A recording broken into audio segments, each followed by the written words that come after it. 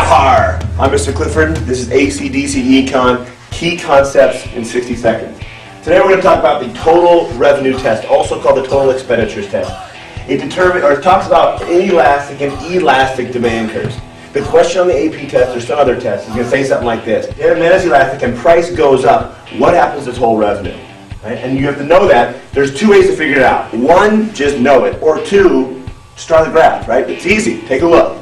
Start the time, ready, and now.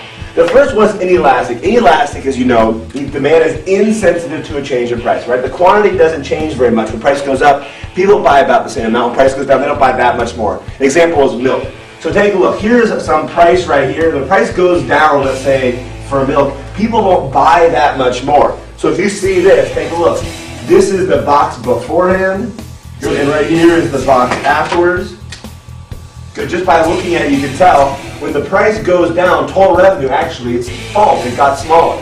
And if price goes up, you can see the box gets bigger, so total revenue gets bigger. Price goes up, total revenue gets bigger. Price goes down, total revenue gets smaller. Inelastic demand. Down here, on the other hand, take a look. Good. When the price falls, well, people are going to buy a crap load more. Right here, they buy a little bit more, but here they'll buy a whole lot more.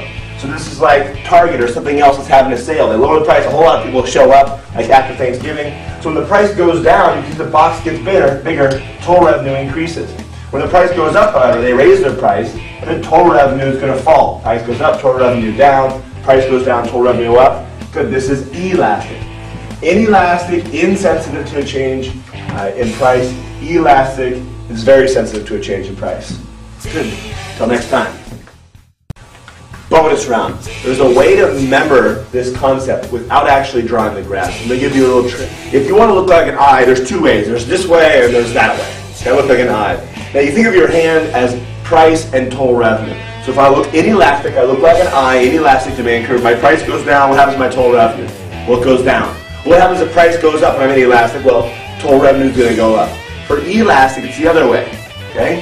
For elastic, if the price goes down, total revenue goes up. And if price goes up, total revenue goes down. I'm elastic. That's how you're going to remember it. Try it on the test.